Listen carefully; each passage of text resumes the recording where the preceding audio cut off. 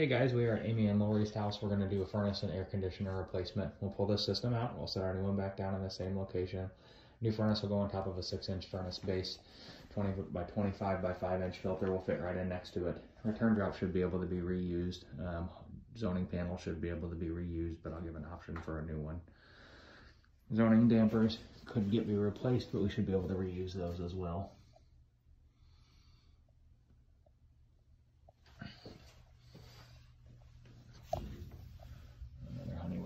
Panel or damper. We got all, all that stuff written down. And then here's my universal mini zone.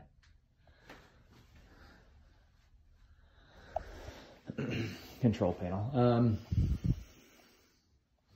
let's see here. Refrigerant lines will just get replaced. They go straight to the outdoor unit. Two inch flue pipe will get cut into. We'll just rebuild back down into our system. Gas lines will all get reused. Electricals going up into the ceiling there above the joist. It's up to code. Drain lines, we'll run new drain lines back down to the floor here. Water heater is not going to get addressed. Pretty straightforward out here in the basement.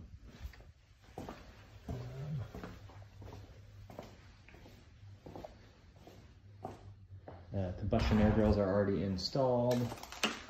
And then you will have to walk across carpet and stuff to get downstairs, so just make sure to cover everything. Here's our outdoor unit. We'll pull this up. We'll set our new one back down in the same location. New disconnect box, electrical whip, flush and pressure test. No, I'm sorry. Let's replace the refrigerant lines. We'll go ahead and replace them. Reuse the existing two inch flue pipe there. That's it.